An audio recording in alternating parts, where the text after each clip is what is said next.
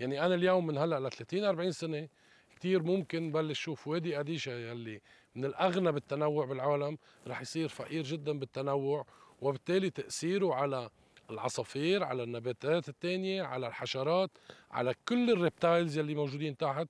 وحتى نحن كسكان محليين هون رح يكون في تأثير سيء علينا.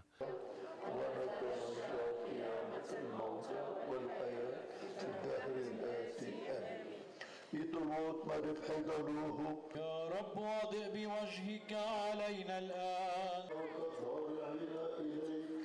وأهلهم بمراحيك. يا خالق جميع البرايا.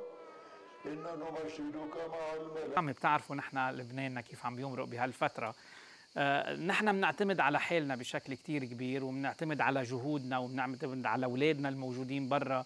وبنعتمد على وعي اولادنا لحتى نقدر نكفي أكثر وأكثر